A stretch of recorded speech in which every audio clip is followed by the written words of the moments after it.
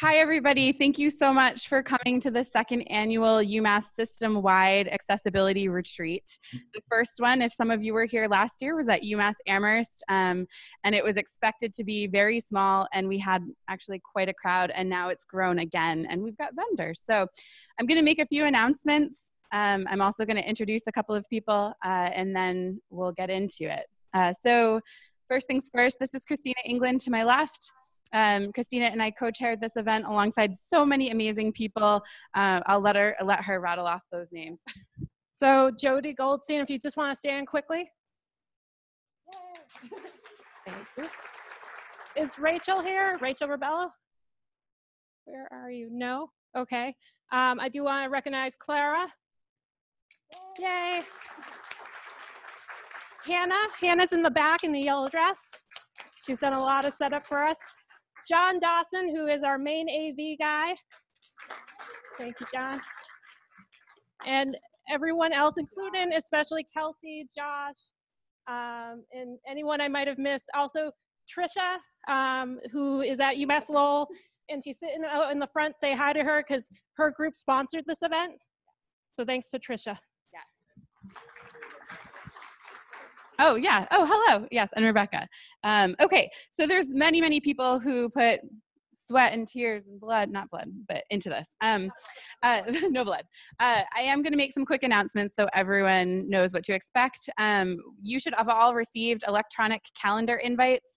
Those will tell you where to go when and what room your sessions are in. There are also signs posted on the doors, and we do have two people, Sean and Janelle, who can also point if you want to stand up or raise your hand up so people know. Um, who can point you in the direction of where you need to go. Um, we also have vendor booths that you saw. I do want to make an announcement about those in case you missed it. On your name tags, there's a little like grid at the bottom, and people at the different vendor booths will give you a sticker if you go and chat with them. You can chat with them in um, in and around. They're going to be kind of walking around. Uh, Microsoft will be here a little bit late, but they will be here. So at the very end, I have my trash bucket um, so please stay for closing remarks because we are going to be raffling off five items from some of our vendors. Um, so what we'll have you do is if you collect all eight of your stickers, or seven really, uh, you can stick your name tag right before closing remarks in here. If you love your name tag so much you don't want to lose it forever, we will give it back to you. So please participate. Um, okay. Wi-Fi, we emailed you that information. There are also sheets on the table if that's helpful. Uh, let's see, bathrooms located near the coat area by registration. They can point you in the direction over there if you need that. Also, at the end of this hallway, towards the right, there are bathrooms over there. Um, big thanks to TextHelp for the name tags. And also thanks to UMass Amherst for um, sponsoring closed captioning as well. Um, so again, thanks for all the hard work. So here we go, we're gonna start. Uh, you can see we have Luis Perez up on the screen here. Hello, Luis. He is joining us from Florida, um, and we are so lucky. I, I, wrote a speech for him, but I'm not going to read it just because it feels weird. I'm going to wing it. Um, Luis is a very he's exceptional. Um, he's a longtime friend, a colleague of mine. Um, he is the true intersectionality. He works at the true intersectionality of disability, um, of assistive technology, technology in general, and accessibility. Um, he really focuses on the human experience, which is so important because that frequently gets lost in all of this. Um, and really, it should be at the forefront of all of this. So, I think we're going to learn a lot from him today. And he presents nationally and internationally, but that doesn't matter because you're going to experience who he is, and he's just amazing. Um, he has a lot of great information to share with you. And uh, I'm really excited to have you. And thank you, Luis, even though you just spent so much time on the road coming back from recording a TED Talk with a standing ovation at ISTE. So um, thank you so much for being here with us. We appreciate it, and we're really looking forward to this chat. Okay. Well, thank you so much, everybody. It's uh, great to see you. Those of you that I can see on the screen right now, uh, just give me a second here while I get my, my uh, screen sharing going, and then we will get this show on the road. And uh, please excuse my um, sniffles today. I have a cold. So I live in beautiful Florida. We have great sunshine, great weather, but when you travel as much as I do, you can't avoid sometimes picking up some germs. All right, Kelsey, let me know if you can uh, see my screen right now. Yes, We can see. We're all set. All right, perfect. Uh, so again, uh, thanks so much, everybody. Um, I want to begin with uh, the title of this presentation. It's uh, "Turn to the Light," and um, that expression is actually the motto of the high school that I attended. Uh, it's a Quaker school in Pennsylvania called the Westtown School, and that idea of light has really played a key role in my life, and I'm going to keep returning back to it uh, throughout my presentation. Now, uh, when I was in high school, this expression, this motto of my school, didn't really uh, have that much meaning to me. Uh, it would really become a lot more meaningful a few years later uh, when, as an adult, uh, I was diagnosed with a visual impairment after a series of car accidents. So the condition that I have is called retinitis pigmentosa, or RP for short. And the best way to explain it is to actually take you inside my eyes. so these are photos that were taken uh, just a few weeks ago, uh, actually at the beginning of May, as you can see from the date there, at one of my routine eye exams. And what you're seeing is uh, this new 3D photography that they can do of the back of the eye, the retina, uh, which is where you have your photoreceptor cells. And uh, since I have retinitis pigmentosa, you'll notice that around the center, there's this ring of dark uh, dots or splotches. And that's basically where the photoreceptor cells have died. And that is my blind spot. That's where I can no longer see. And so my life is really full of surprises. in the sense that I can see all the way out on the periphery. So if I hold my hand out, I can see some movement there. But then as I move my hand in, it disappears uh, until it appears just around the middle. And so, depending on uh, the day, it could be a good day, it could be a bad day.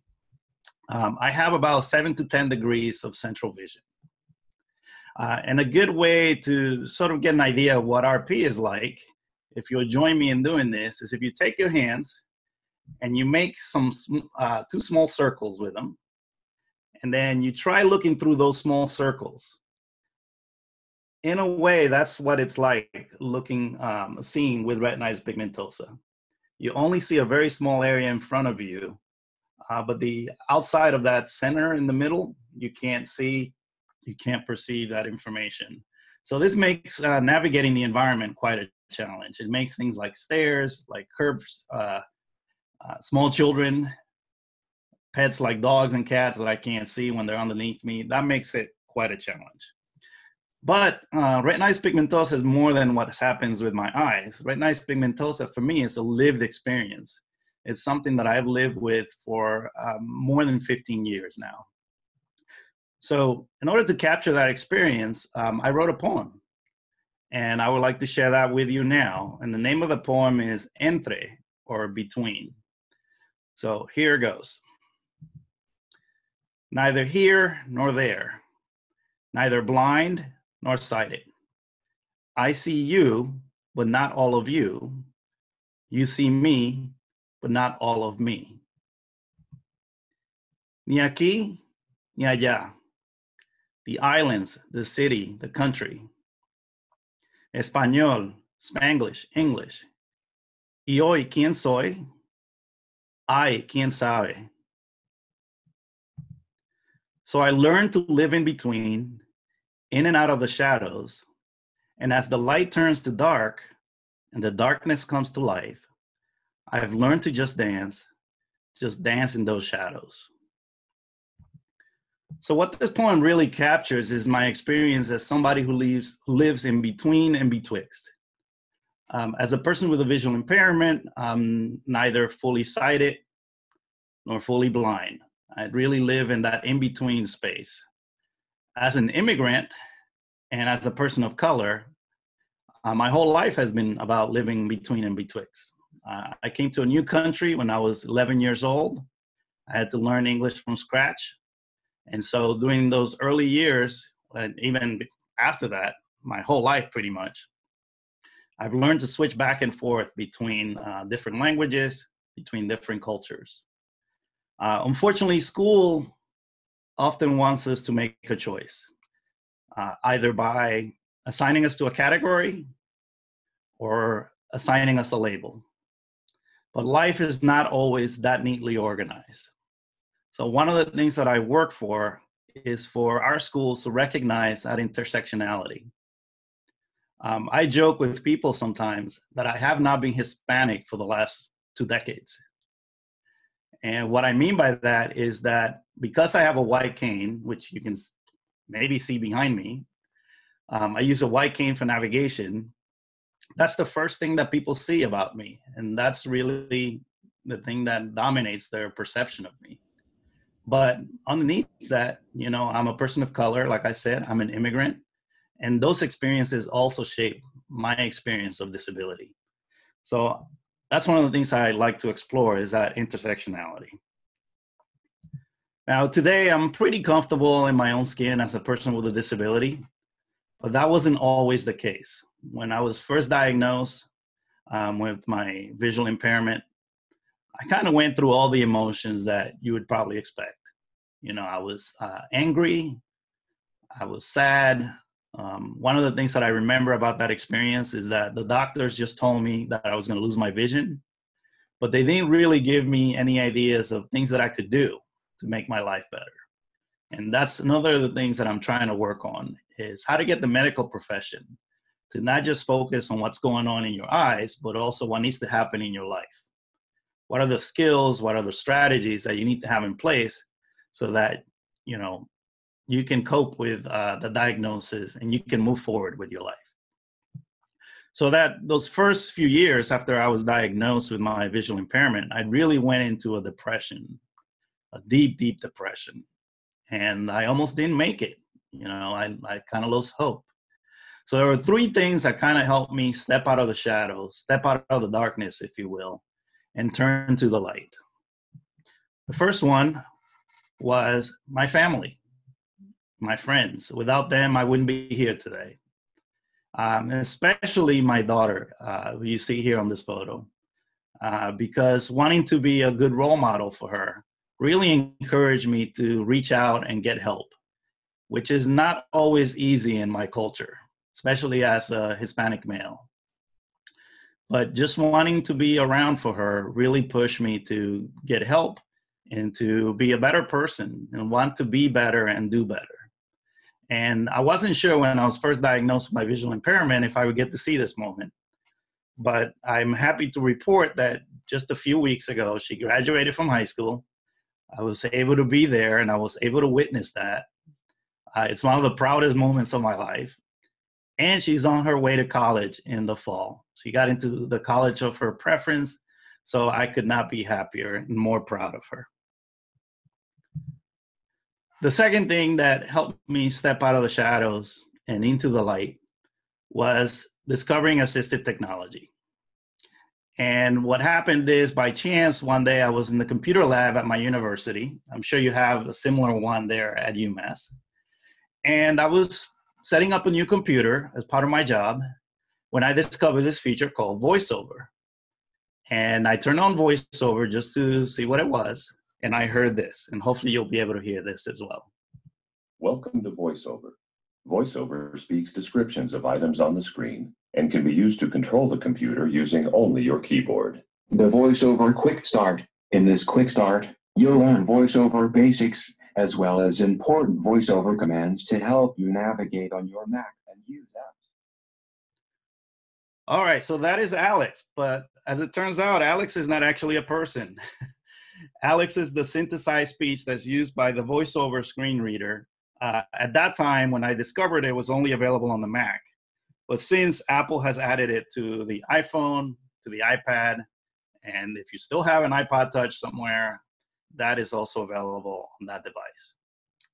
So I've, desc- I've described Alex or meeting Alex as a magical moment. And the reason why I say that is because it was that instant where I knew that in just a moment my life was changed forever. And um, Alex didn't just speak to my ears. Um, I mean, obviously you could hear the voice is really high quality and everything, but that's not what was important. Uh, what was important was the message that the computer or uh, the, the technology communicated to me. Uh, and it was a message of hope. And one of the things that I always tell educators, that I always tell people that work with, uh, you know, individuals who need assistive technology, is to that's the first step. Is focusing on hope, because I, I truly believe with hope, um, you know, learners can overcome any obstacle. Without hope, even the smallest barrier will get in their way and hold them back. Now, I'm not that naive. Um, obviously, there are structural issues that we need to address, right? Um, no matter how good your attitude is, um, there's no way to convert stairs into ramp magically, into a ramp. So there are structural issues that we need to address as well when it comes to accessibility.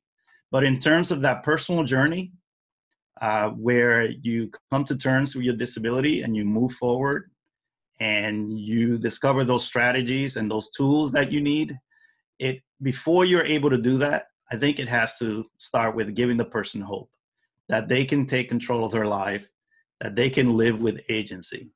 So that's what i mean by that. Uh, hopefully that makes sense the final thing that really helped me step out of the shadows again and turn to the light was just finding joy in everyday life and the way that I did that was by taking up a hobby, but not just any hobby. I decided to take up photography, which is an interesting hobby for somebody with a significant visual impairment. And actually, what you're seeing on the screen is my first camera, uh, which I received as a gift from my brother when he updated to a more powerful model. So, um, how many of you remember what 1.3 megapixels was a lot? so that was my first camera and of course nowadays my phone can do even better than that but this got me on my way so here are a few of my photos just as an example or a sampling of them um, i love since i live in florida i live not too far from the beach um, i always tell people that i have a, like just like a camera you know with a camera you have a limited number of shutter presses before the camera can't take any more photos. Well, my eyes have a limited number of sunsets at this point because there is no cure for retinitis pigmentosa. So what I try to do is just take in as much as I can of the visual world. And sunsets is something that I love. And so I'll continue to try to go out to the beach as much as I can and you know catch those beautiful Florida sunsets. Uh, this is a photo that I took with a special add-on lens that's available for the iPhone. Uh, it allows you to get up close on you know the world around you. And so this is a close-up of a flower that i took. And then um, photos you know you can find good photos anywhere.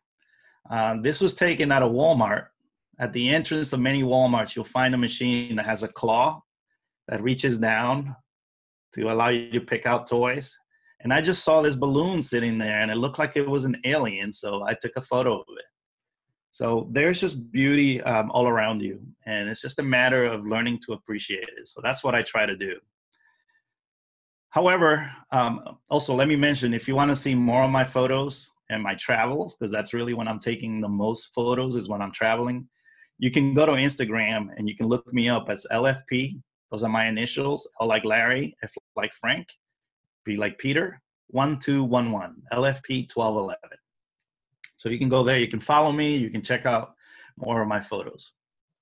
Now, here's the thing if you are just focusing on the photos, then you might miss the big picture. See what I did there?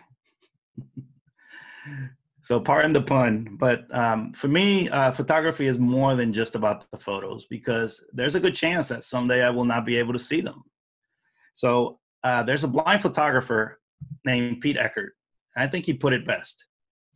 The photos are for you. The event of taking them is for me. And what I mean by that is that uh, photography for me is more than just an artistic endeavor. It's really a political one. Uh, the camera is my tool as an advocate. So for me, photography is really about being visible as a person with a disability. Um, I think we live at a time in our country when my rights as a person with a disability, as a person of color, as an immigrant, are under constant attack. And so it's more important than ever for me to be visible and to just show that I'm here, I'm proud of who I am, and I'm not going away. So that's what photography is all about for me. It's about being visible. Uh, photography makes me visible in the physical space. So when I go out somewhere and I take out my Y cane and some sort of camera, here I'm using the iPhone, but I also have a camera hanging from my shoulder. Um, it really forces people to reconsider their preconceived ideas of what it means to have a visual impairment or any kind of disability. And then, of course, when I share those photos online, again, it's making me visible in those spaces where a lot of our conversations are taking place now. Uh, you all probably share photos on Twitter, on Facebook, on Instagram, on Snapchat, whatever the kids are using these days. Well, I want to be part of those spaces as well. I want to show that as a person with a disability, I belong in those spaces. And photography is a way for me to do that. So what I'm going to do now is uh, just turn over to my iPad. If everything works out well, we will see about that. And then just do a quick, a few quick demos for you. So here is my iPad. Let me see if I can get this uh, full screen. Just to remove some of the uh, distractions there. All right. So Kelsey, can you let me know? Can you see my iPad just fine? Yes, I can see your iPad. It looks good. All right. All right. So the first thing I want to cover here is how do I take photos? So on my iPad, there's a feature called VoiceOver, as I mentioned earlier. And what I'm going to do is just triple click the home button. I have an accessibility shortcut set up. This is something you can set up in uh, your settings for your iPad or other iOS device. And I'm going to triple click the home button to turn on VoiceOver. VoiceOver on landscape. Home button to the right, camera. Double tap to open. When I turn on VoiceOver, I get all this information, right? The orientation of my device, what app or folder or folder I'm on, and so on. The way that I navigate with VoiceOver, uh, there's two ways. I can move my finger around on the screen, and then it's going to read whatever is underneath my finger. Or the way that a lot of us who use VoiceOver a lot do it is we flick. So we'll perform a one finger flick and that will move uh, this uh, square that you see around the camera app. That's called a voiceover cursor. So that determines what's going to be read out loud. So I can flick to the right with one finger and I'll move to the next item. Playgrounds. Double tap to open. Or I could flick in the other direction and that will move me back one item. So it's a very linear process when you do it this way. It goes from left to right, top to bottom. Camera. Double tap to open. All right, let me get ready for my uh, close up here. So, um, as VoiceOver has uh, told me, because I've had the hints turned on, um, it's a two step process. First, you have to move the VoiceOver cursor to the item you want to interact with, and then you can double tap. And here's the cool thing you can double tap anywhere on the screen. So, basically, the entire screen becomes one big button. And that's there because as a person with a visual impairment, I may not know where on the screen that camera uh, icon is for that app. So with this um, method, I basically just move the cursor around. When it gets to the item that I want, I can double tap. So let's take a look at taking a photo. Camera, viewfinder, flash on, zero faces. One face, large face, face near right edge. One face, large face, face centered. All right. So one face, small face, face near bottom right edge. What you home camera. What you saw there. Open. I'm going to. It's lagging a little bit, so let me uh, wait for it to catch up. What you saw there is the facial recognition that's built into iOS devices. And with this facial recognition, if you want to take a portrait, it will let you know how many faces are in the picture. It will let you know um, their relative location in the frame. So, as somebody who doesn't have any peripheral vision, this is really helpful to me. Uh, it allows me to, uh, you know, be able to take a portrait just like anybody else. So let me try to exit out of here. I'm going to launch this app again because when I opened up the camera, it kind of slowed mm-hmm. down a little bit. So give me one second while I do that. I'm going to turn off voiceover. Voiceover off. Talk amongst yourselves.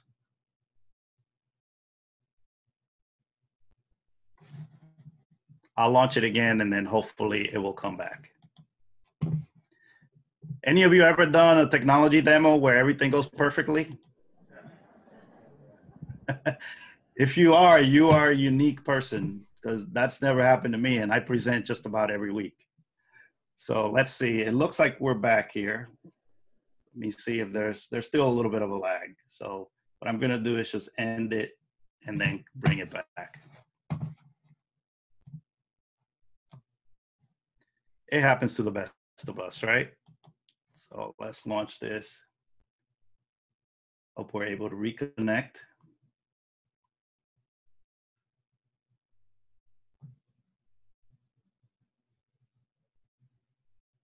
All right, there we go. I'm not even gonna put it in full screen, just in case.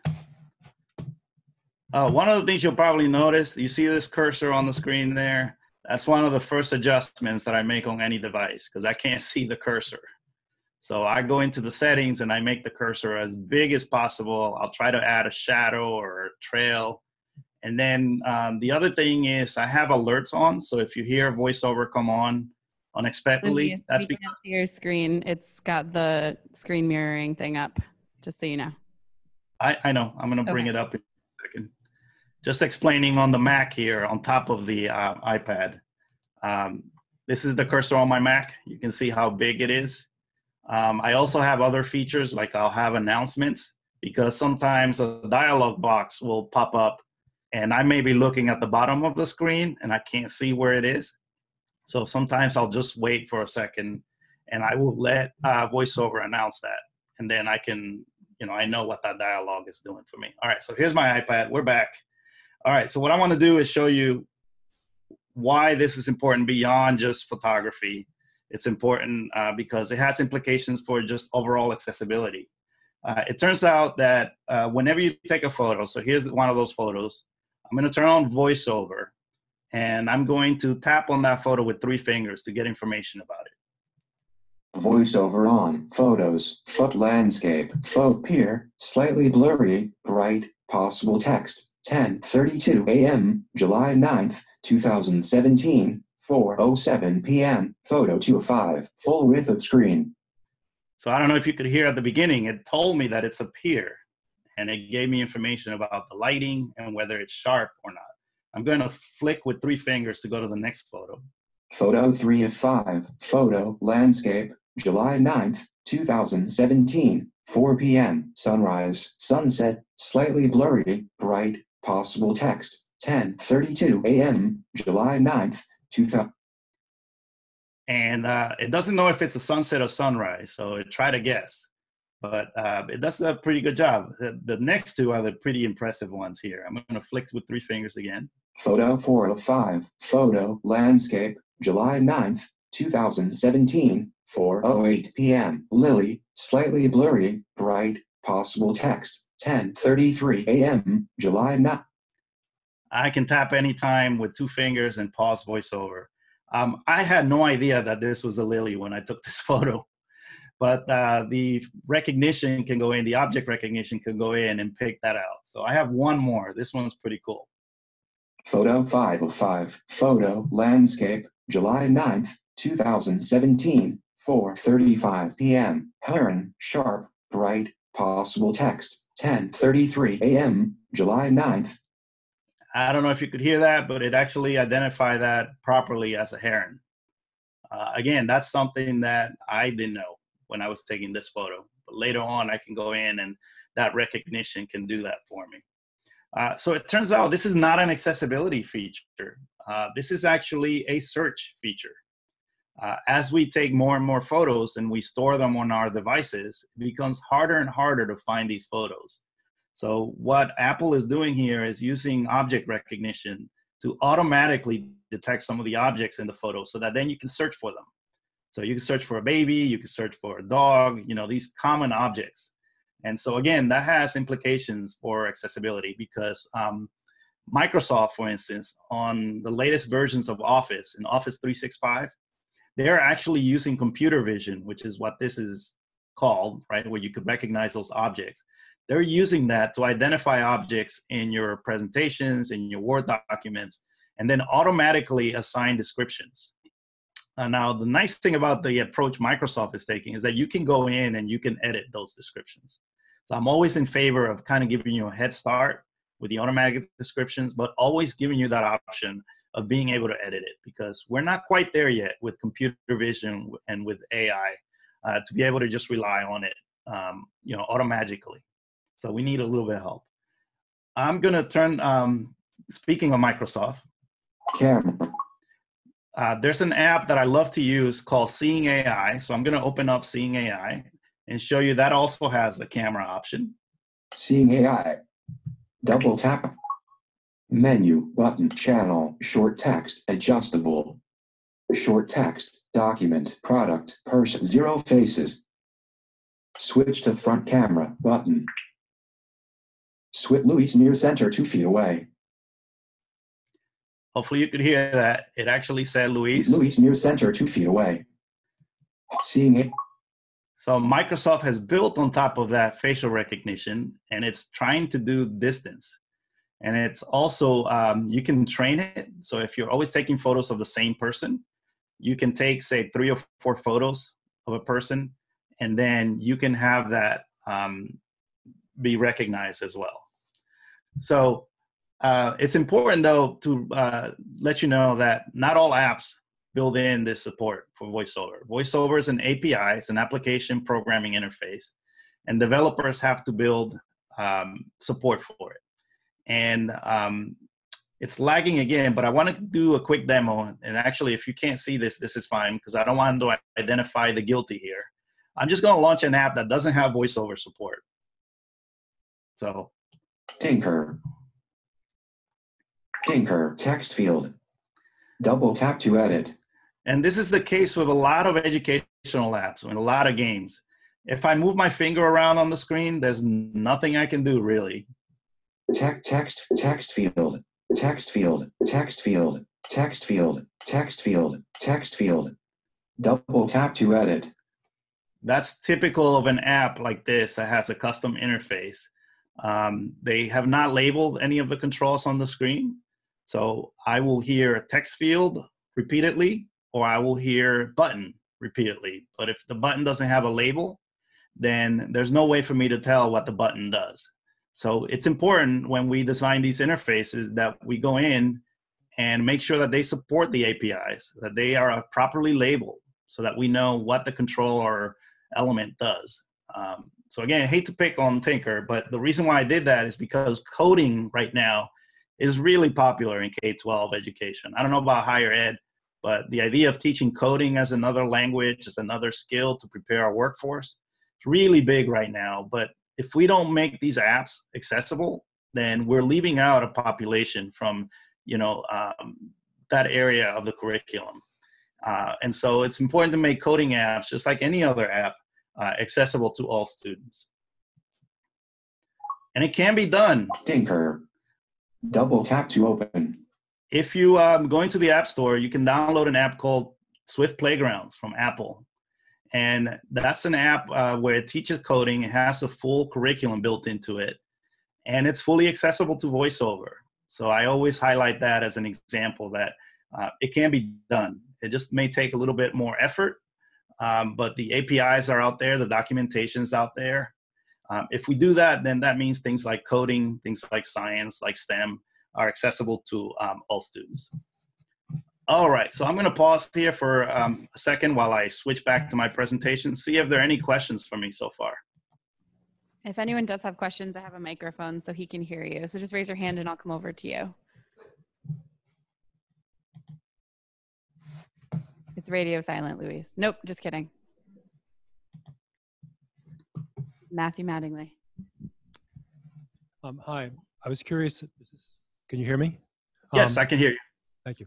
Um, when you use a, a regular handheld camera rather than the, um, the the pad with the built-in voiceover and stuff, how accessible is that? Is some of the information um, only displayed on screens and so on? How do you deal with that?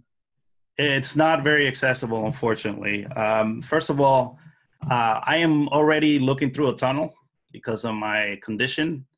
And most of the time, I have to look when I'm out shooting in bright light, I have to look through the viewfinder because the screen is also difficult uh, for me to see. And so um, that's that's an issue, being able to look through the viewfinder because I can't see much of the stuff already. Um, most of them don't have options for making any of the items on the screen bigger, which I need, or changing the contrast. Uh, those are all options that I have on my iOS device or or any of these tablets, right? An Android tablet, um, you know, whatever tablet you're using, whatever phone you're using. And I prefer the phone just for the portability of it. Um, you can make the text larger. You can change the background of the screen. Uh, it's just highly customizable, way more than a camera. Um, I can't see the markings on any of the knobs or any of the different options, you know, physical buttons on the camera either. Um, whereas with the, uh, you know, the touchscreen on an iOS device or another tablet or phone, I can use screen reader to read all those controls to me. Uh, so I do shoot with a camera sometimes because uh, one of the things I don't get with a phone or a tablet is zoom. And so occasionally I will put on a long lens and go out and shoot. Um, there are things here in Florida that you want to kind of keep your distance from them, like, you know, alligators and snakes. And so uh, those are favorite of mine to photograph, but I have to keep my distance. And so in those situations, I use uh, a camera with a long lens, but it does tire me out. So I, I don't do it as often. Hope that answers your question. Yes, thank you.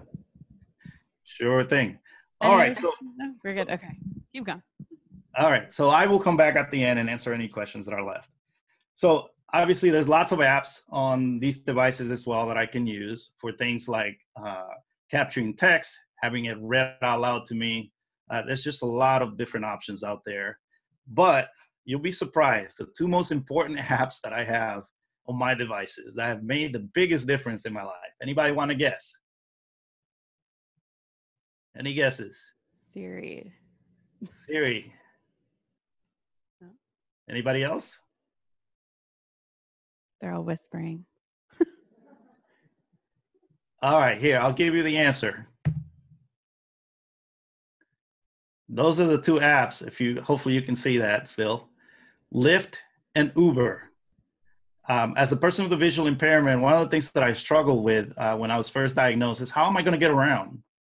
and these apps were not around at that time and um, it was really difficult because all of a sudden i lost my independence i couldn't drive and uh, you know i could take a cab but cabs are pretty expensive and they're also really unreliable so when lyft and uber came about it was like a game changer for me because now i hardly ever have to wait more than a few minutes uh, where i live or most major cities they'll pick me up within i think no less no more than 10 minutes in most cases. And I can track where I'm going. I can track my estimated time of arrival. These have just been amazing. I can track that on my Apple Watch as well. Uh, so Lyft and Uber, I know there's some issues with them with ADA compliance and the like, but um, trust me, as somebody who uses them a lot, this is a lot better than the solution I had before, uh, which is just relying on cabs or public transportation, which is kind of spotty uh, where I live. Um, I live in the South, and basically all we have is buses and they're not all that reliable either so those two have changed my life and the final thing that i rely on is i love to read. But um, right now what i mostly rely on is uh, EPUB books that i access on my tablet. And with these books i can go in and i can customize the reading experience. I can make the text bigger. I can go in and i can change the background so that i have more contrast. And then of course if my eyes get tired uh, there's this feature called Speak Screen. And what I'll do is I'll just use Siri and I'll say Speak Screen and it'll start reading automatically from the top of the screen. And it'll even flip the pages for me when it gets to the bottom. So it's basically a continuous reading mode. So if you haven't tried that before, I would encourage you to do that. Um, you can just use Siri for that, or you can perform a special gesture. But um, it's something that you first have to turn on in your settings. So a speak screen is something that I use all the time with uh, reading, especially towards the end of the day when my eyes get tired. Uh, so of course, um, I focus on the technology, but it's important um, to recognize that the content needs to be accessible as well. And so one of the things that I did a while back is this infographic. Um, it's called um, slide s-l-i-d-e and it stands for uh, five different uh, tips for making content more accessible uh, the first is using styles so making sure that you're properly structuring your document using headings uh, headings provide additional navigation for screen readers because we can bring up a list of those headings and then we can skip anywhere that we want within a long document without having to read the whole document from top to bottom. Uh, the other is making your links descriptive. So avoiding links that say click here or here. Uh, just like with headings, I can bring up a list of all the links in a document, but if they all say click here, then I don't know what here is referring to. So just making sure that instead you select some text that's descriptive and you make that the link. Obviously, adding images, um, accessibility descriptions or alternative text to images. That's one of the basics of accessibility. Uh, so people who can't see those images get that information. And then for people with cognitive uh, limitations or disabilities, you know, having a clean and predictable design, it means that they can focus their attention on learning the content rather than how it's designed. And then the final thing that I'll leave you with is just having this empathy or ethic of care when we're designing that we're not just designing for us now, uh, but a famous web developer called Adrian Roselli said, design for future you, not for current you, that's able bodied, but for future you, who as a result of aging may have a disability. And when we go, you know, into our retirement years, our uh, possibilities of having a disability increase dramatically. So design for future you, uh, if nothing else. He calls it selfish accessibility. Uh, you, we will all need these things uh, at some point in the future. So here is a uh, QR code. You can actually download a, a, blog post that has that information in the infographic in a more accessible format. It is bit.ly, bit.ly, slide into access. So basically my final thought here is, um, you know, for most people, technology makes things uh, easier. For some of us, technology makes things possible. So I would like to close with this example. This is my friend Logan uh, Prickett. Uh, Logan, when he was 13, he went into the doctor for a routine MRI, and he had an allergic reaction to the dye that was injected uh, prior to the MRI. He went into a coma, and when he came out of the coma, he was blind.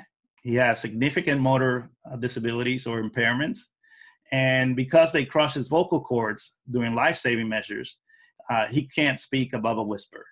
So the challenge for us, uh, I was working with a team at Auburn University, was how to enable Logan to participate in his education alongside his peers. So what we did is we developed a complex communication system built around his iPhone. Uh, you can see there, there's some speakers mounted in the back of his wheelchair to amplify his voice. There's a microphone connected to everything to make sure that you know his voice is captured and amplified appropriately. And then he used uh, both voiceover and the switch access features built into the iPhone using a custom switch interface that was built into the uh, arm of his wheelchair. So the result of all this, just a few weeks ago, Logan graduated from Auburn University at Montgomery. Not only did he graduate, he graduated in four years he graduated with honors. And not only that, but he's also a published author because together, the two of us co authored a book chapter on accessible technology. So basically, my final thought here is um, when thinking about technology, is not to do for other people what they can do for themselves. Um, our goal as educators, as assistive technology experts, as accessibility experts, is to just put those tools in the hands of learners that allow empower them to accomplish their goals, whatever they may be. So my message to you is to be the spark, to light the path, and above all else, join me in making more light. Uh, and I love to end with this quote from Peter Reynolds. Uh, he said, "There's more good than bad in this world, more light than darkness, and you can make more light." And that's our role as educators. That's what we bring to the world: is we bring more light into the world. So will you join me in making more light? I hope you will. Thank you so much. I will take any questions that you have for me. Thank you. Thanks for the opportunity to speak to you to this morning.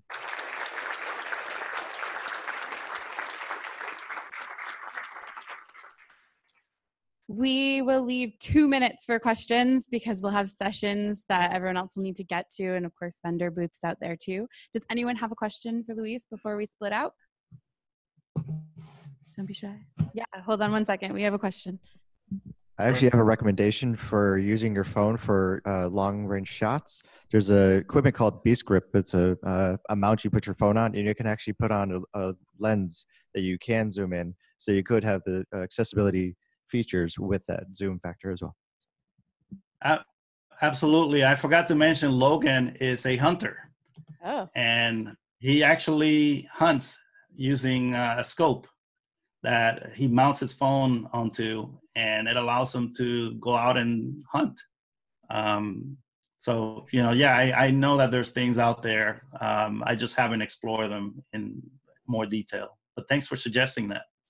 Uh, one more question. Hi, do you find that um, do you use chat a lot? Out of curiosity, is that something that you, you know, use as a medium to communicate? Since it's, I would think it's built-in accessible. um, I do, uh, and Logan does as well, and some of the other people that I work with. Uh, one of the issues that we're having sometimes is with emojis. People love to use emojis in their chat conversations and um, screen readers are getting better with it but a lot of times they'll interpret the emojis uh, literally. And that's not necessarily what the person meant. Um, and then also if you do a message with a bunch of emojis in a row it kind of becomes difficult to um, parse out that conversation. So it's something to be aware of. Uh, but um, i have worked with a person who is um, nonverbal uh, with cerebral palsy so she's not able to speak and uh, she's taught a course for me. Uh, she's come in as a virtual instructor, and we did it all through Facebook chat. so she had some messages already programmed into her keyboard that she could respond, and then obviously it took a bit of time for her to type, but uh, she was able to do that through chat. So definitely things like chat uh, open up a whole world um, of connection, which is really important for people with disabilities because. Um, you know, somebody with a rare condition like mine, I could have gone through all through school without meeting somebody else in the same position. But through support groups, through chat, um, we're able to meet each other in the virtual space. Um, we're able to support each other and just stay in touch. Luis, thank you so much for your time. We really appreciate it. And everybody else, your next session starts at 11. Thank you. See you, everybody. Take care. Have a good day.